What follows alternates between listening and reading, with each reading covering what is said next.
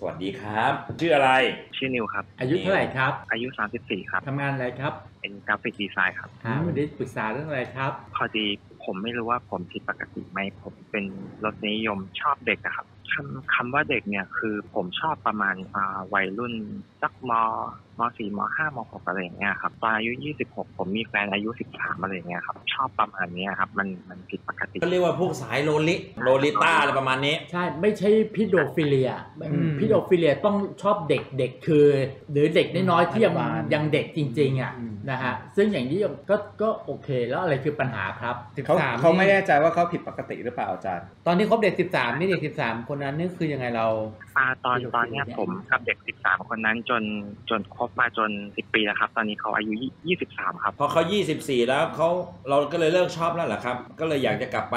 ลุยเด็ก10กลางๆอีกทีหรือยังไงครับอ๋อไม่ครับผมแค่ถามถามแบบประมาณแบบว่ารสนิยมอย่างเงี้ยว่าผิดปกติไหมมันมันผิดปกติไหมเอาอย่างนี้ อธิบายอย่างนี้ละกันครับนิวครับ ในแง่นี้มันมีกฎหมายบังคับอยู่นะครับต่ำกว่า 20 นี่ก็ถือว่าพรากผู้เยาว์ถือว่าผิดกฎหมาย แต่ในความเป็นจริงเนี่ยอ่าเราจะพูดกันแบบนี้ว่าคนก็มีเซ็กกันเนี่ยตั้งแต่อายุ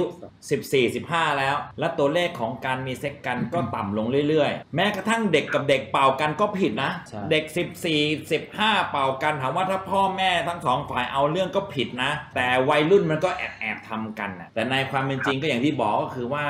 เด็ก ก็มีภาวะโตเกินวัย เวลาเราเข้าไปดูโซเชียลมีเดียของเด็ก โดยเฉพาะเด็กอายุน้อยๆ เนี่ย บางทีเราก็อยากให้เจ้าหน้าที่กฎบ้านเมืองกฎหมายดูเหมือนกัน แต่เขาก็บอกว่าต่อให้เด็กเป็นใจเด็กเริ่มก่อนยังไงคุณอ้างไม่ได้ เพราะกฎหมายบอกแล้วว่ามีอะไรอย่าแตะต้องผู้เยาว์นั่นแหละครับ เพื่อป้องกันปัญหาอะไรก็ตามแต่ แต่ถ้าเกิดจะถามในแง่ของทางการแพทางทย์จิตเวชอ่าทางจิตเวชจานมีคำตอบครับ มันมีโรคหนึ่งชื่อพิโดฟิเลียแปลว่าชอบชื่นชมหรือว่ามีความเสน่หา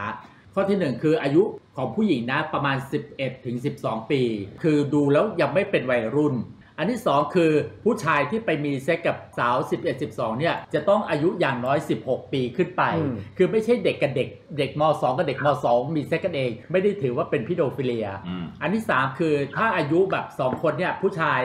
กับผู้หญิงเนี่ยอายุห่างกันอย่างน้อย 5 ปีขึ้นไป คือไม่ใช่เด็กกับเด็กเมมีเซ็กกัน กรณีของคุณเป็นแบบสาววัยรุ่นไม่ผิดปกติครับ แต่อย่าทำผิดผิดกฎหมายตัวเองอืมขอให้เซ็กนั้นเกิดขึ้นด้วยความเต็มใจแล้วก็อายุเหมาะสมครับเวลาดูคลิปโป๊หนังโป๊ดูคลิปปกติทั่วไปหรือว่าดูเฉพาะคลิปเด็กอาจดูเป็นโลลีครับ อ่าโอเคสาววัยมันรุ่นมันก็เป็นรสนิยมทางเพศนะฮะ แต่อย่างน้อยใช่ๆมันต้องไม่ผิดกฎหมายใช่คนปกติแค่คิดในขณะที่คนเลวลงมือทำเป็นรสนิยมทางเพศครับชอบเด็กวัยรุ่น แต่ก็นั่นแหละเราเราทำงานในให้สื่อคนเราก็ต้อง18นะเราก็ต้องพูดว่าเฮ้ยมันก็ต้องอยู่บนกรอบของกฎหมายแหละใช่ครับผมขอให้มีความสุขทางเพศครับครับขอบคุณมากครับครับผม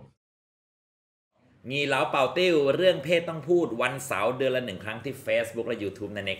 555 ถ้าดูทาง Facebook ให้กดไลค์กดแชร์นะครับ ครับ ทาง YouTube กด Subscribe กดกระดิ่ง จะได้ไม่พลาดทุกคอนเทนต์ของเราครับ เรียกงี้เราเบาติ้วอาจจะยากเรียกพวกเราว่าเซ็กเวนเจอร์